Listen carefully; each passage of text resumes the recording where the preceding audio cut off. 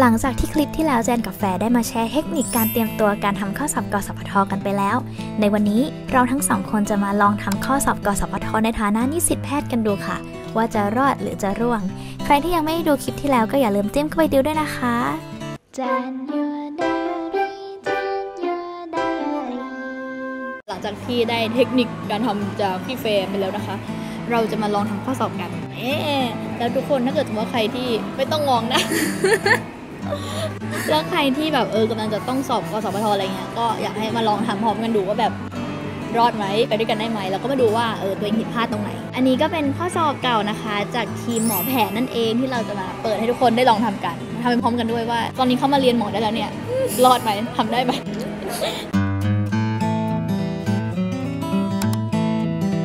เดี๋ยวเราจะขึ้นโจทย์ไว้ให้นะคะ ทุกคนก็สามารถที่จะทำพร้อม ๆ กันได้เลย แล้วดูกันนะคะว่าน้องแจนหรือน้องแฟร์ใครจะ ได้คะแนนสำหรับข้อนี้ไปจับเวลา 1 นาทีนะคะทุกคน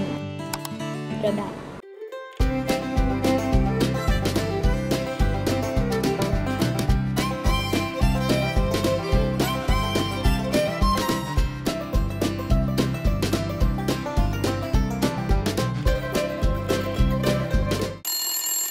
น้องแฟร์ได้คำตอบไหมคะ ยังค่ะ ยังเหมือนกันค่ะเฮ้ยจริงๆ ในห้องสอบอะแบบข้อละหนึ่งนาทีอะ ถือว่ากำลังดีเนาะอืมแบบรู้สึกว่าถ้ามากกว่านี้ก็ต้องไม่เกิน 2 นาที เพราะว่าข้อสอบมันเยอะมากจริงๆแล้วเวลามันน้อยมาก เรามาดูเฉลยกันเลยดีกว่าว่า เขาเฉลยกันว่าอย่างไรบ้างสองหนึ่งเจ็ดโอเคถูกต้องตอนสอนี้งเห็นหนึ่งเลขเจ็ดอะไรไหมย้ำเป็นรอบที่สามเออย้ำเป็นรอบที่สามแล้วเห็นเลขแต่อะไรนี่ไม่นะเห็นเลขอะไรต้เลองยเข้าสมองน้องบ้างแหละวันเนี้ยถ้าเกิดทุกคนได้ฝึกไปพร้อมๆกับพี่ๆนะคะ ทุกคนก็จะเห็นเลขอะไรตามที่พี่เขาบอกนะคะ แต่ทางนี้ก็คือไม่ได้ฝึกก็คือมาถึงทำโจทย์เลย ก็จะอองๆแบบนี้ อันนี้คือข้อดีของการฝึกทำโจทย์ ถ้าเกิดเราทำโจทย์เยอะพอ เราก็จะรู้ว่าเออถ้ามันเจอแพทเทิร์นแบบเนี้ยเราควรจะไปทางไหนไงทุกคน ใช่ค่ะ เราต้องได้อะ สังเกตจากเลขอะไรอ่ายี่สิบแปดถูกต้องได้ผลได้ผลเออ28มันคืออะไรกำลังสามบวก1อยู่ใช่ป่ะ แล้วเราก็ค่อยไปเช็คตัวถัดไปกำลังสามบวกว่าตัวหนึ่งถัดไปมันคือกำลังสามบวก1หรือเปล่า ถูกต้องไหมอืมซึ่งเช็คได้ง่ายสุดอ๋ก็อ IC ค่ะแปด IC กับ64ถูกต้องปะ เพราะฉะนั้นข้อนี้มันเป็นคือสามกำลังสามกำลังบวกหนึ่งสามบวกหนึ่งโอ้โหนะคะหนึ่งกำลังสามรู้บสึวกกหนึ่งงงเลยค่ะสองตอนกำนี้ลังสามบวกหนึ่งสามกำลังสามบวกหนึ่งสี่กำลังสามบวกหนึ่งเปล่าเราแค่ห้ากำลังสามทำคิดไม่ถึงบวกหนึ่ปะเพราะฉะนั้นใช่คำตอบก็คือทำอะไรต้องเป็นง่ายๆอะคือเรายังไม่เคยเจออะไรอย่างเงี้ยเท่ากับอืมสองหนึ่งเจ็ดถ้าเราเคยเจอเราก็จะทำได้วันนี้น้องได้กำลังสามแล้วต้องมีนะคะคุ้นคุ้นยี่สิบเจ็ดห้าสิบสี่ต้องบวกหลลอบนบต้วอกงหลลบอนหนึ่งกันบ้าบ้างงแหละอะเอเอออมาดูข้อที่2กันค่ะ ให้เวลา1นาทีในการทำเริ่มได้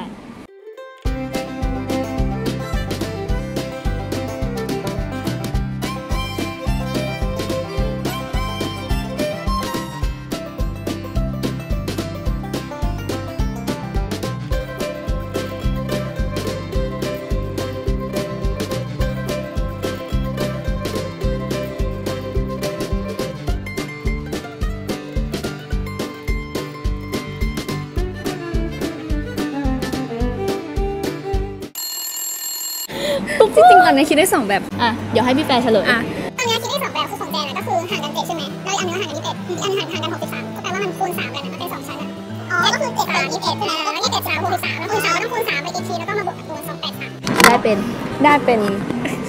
วิ่งมึงคิดเลขอีกวิธีหนึ่งอะของเราใช่ไหมเราก็จะเอา3คูณ3บวก1 แล้วก็ 10คูณ3บวก1อ่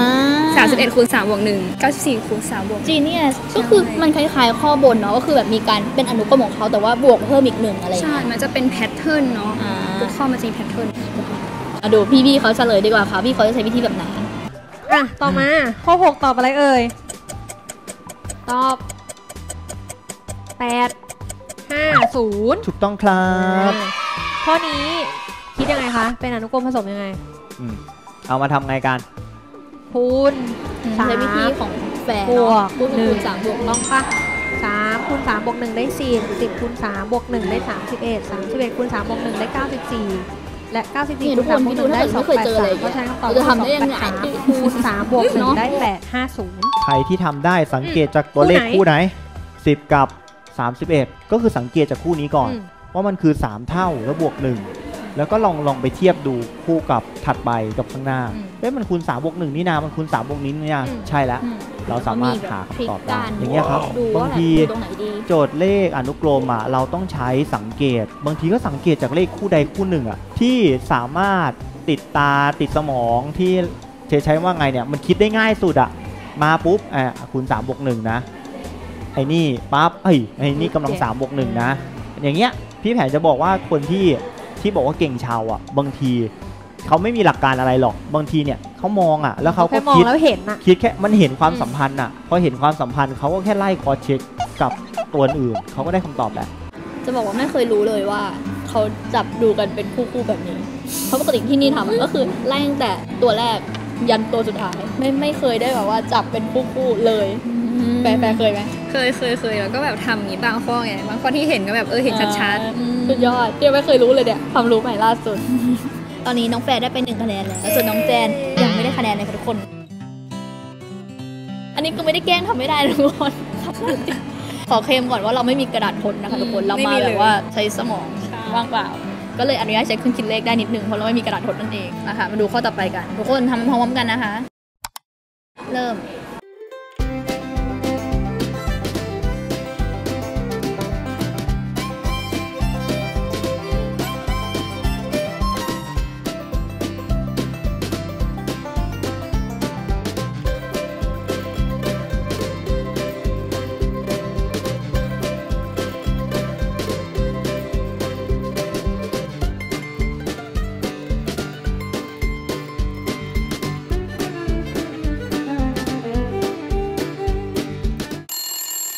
อะคิดอะไรได้บ้างๆคืองงคือยังไม่ได้ยังไม่ได้เลย มันน่าจะต้องแบบมีการคูณกันแบบ 7 3 21 6 4 6 6 6คูณได้64วะเออมันต้องมีการแบบคูณกัน แล้วก็เป็นอนุกรมข้างบนอนุกรมซ้อนอะเนาะใช่ใช่อ่าแอบคิดเหมือนกันแต่แต่ยังแบบไปไม่ถึงนะคะทุกคนห้าคูณสองเป็นสิบนี่เกือบแล้วเนี่ยอีกนิดเดียวต่อเลยชนเป็นกำลังช่วย สิบคูณสิบหกอะโอ้ยสิบคูณสิบหกอะไม่รู้อะยอมแพ้อะจุ้งเลยมาลองดูเฉลยจากทีมหมอแผนกันค่ะหนึ่งสองเก้าเออยังมีก้าวมาต้องเว้ยมีนำมีนเออเออำหนึ่งเออสองเก้าสุดยอด ความสัมพันธ์มันเป็นแบบไหนคูณ2 กับคูณ3 สลับกันถูกต้องปะแล้วบวกหนึ่งด้วยนะอ่ามันเออคือคูณ2บวก1คูณ3บวก1คูณ2บวก1คูณ3บวก1เพราะฉะนั้นคำตอบก็คือ 64คูณ2บวก1ได้ 129นั่นเอง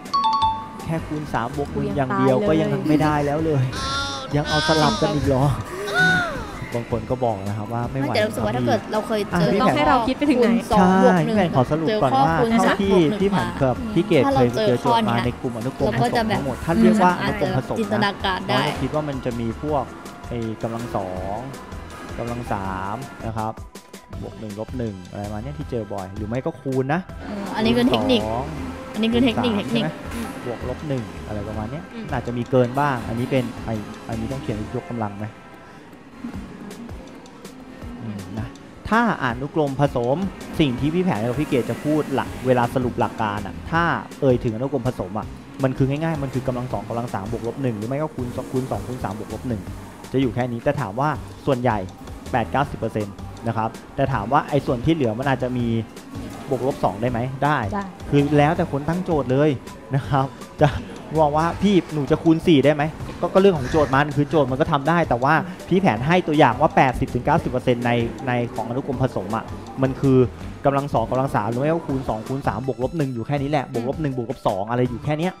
มาสรุปคะแนนกันนะคะทุกคนจากมีทั้งหมด 3 ข้อ3คะแนนน้องเฟย์ได้ไป1คะแนนแต่น้องแจนยัง ทำไม่ได้ อย่างที่บอกว่ามันอาศัย skill การฝึกฝนจริงๆอะอย่างน้องแฟร์เนี่ยน้องแฟร์ก็เรียนไหม เรียนได้เรียนได้ผ่านบ้ากังนเพราะว่าแบบพอเรียนแล้วเราก็ได้แบบเทคนิควิธีการอืมทำเพิ่มขึ้นเนาะแล้วแบบทำให้เราเข้าใจแล้วก็สามารถทำโจทย์เองได้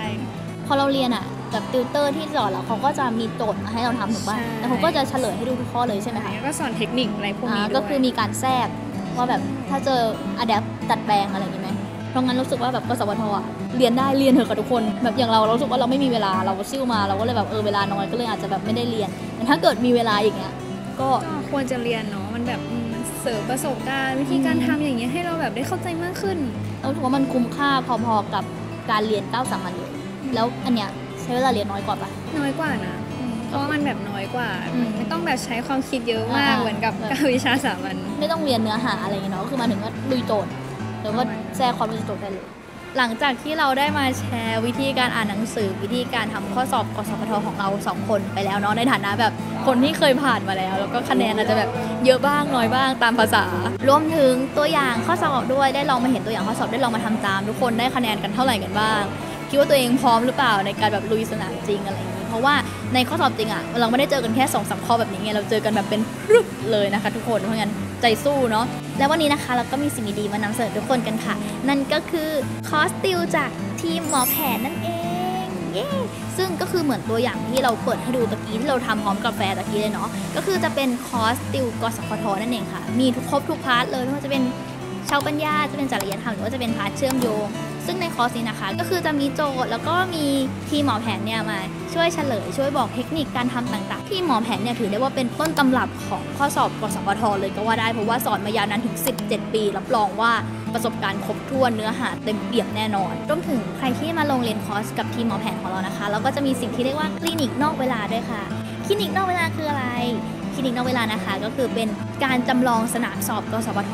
ที่สมจริงแบบมากๆเรารู้สึกว่าแบบด้วยความการันตีสอนมา 17 ปีแล้วทุกคน เขาก็จะได้เห็นแนวข้อสอบเห็นอะไรมาเยอะมากๆแล้วอะซึ่ง การที่ได้มาลองทำข้อสอบเสมือนจริงแบบนี้เป็นแบบเหมือน mock exam อะเนาะเป็นข้อสอบเสมือนที่คล้ายๆ กับการสอบจริง ก็ทำให้ทุกคนเนี่ยได้เหมือนกับลองสัมผัสประสบการณ์ การสอบ การอยู่ในสนามมันจะแบบกดดันเคร่งเครียดขนาดไหน แล้วคะแนนที่ออกมามันจะได้ประมาณไหน ซึ่งทางทีมหมอแผนนะคะเขาก็การันตีมาเลยว่าคนที่มาสอบกับเขาแล้วพอได้ไปสอบสนามจริงเนี่ยคะแนนอะมีความใกล้เคียงกับที่สอบจริงๆเลย แล้วถ้าเกิดใครที่ลองสอบรู้สึกว่าคะแนนตัวเองอะน้อยเกินไป หรือว่าแบบยังไม่พอใจกับคะแนนเสียงลง ยังไม่พอใจกับคะแนนเนี่ยก็สามารถที่จะแบบมาติวเพื่อบิ้วคะแนนขึ้นมา แล้วพอไปสอบจริงคะแนนก็สามารถเพิ่มขึ้นได้จริง ๆ ด้วยใช่ซึ่งแบบแนะนำมากๆเพราะอย่างที่บอกไปนะคะ ว่าเราอะเชียร์มากๆให้ทุกคนอะตั้งใจอ่านกสพทเพราะว่าคะแนนมัน ค่อนข้างที่จะได้มา ไม่ได้ยากกว่า 9 วิชาสามัญสักเท่าไหร่ แล้วก็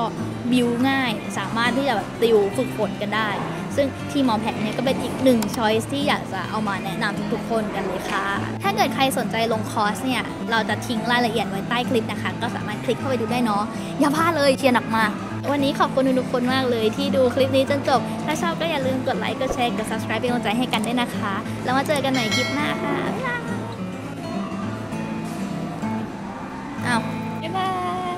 ดคำว่าทีมหมอแผน3 4ทีมหมอแผนค่ะเย้เทคสองน้องแฟร์โผล่มา ทีมหมอแผนค่ะ เย้เอาไม่มีค่าแล้วเหรอ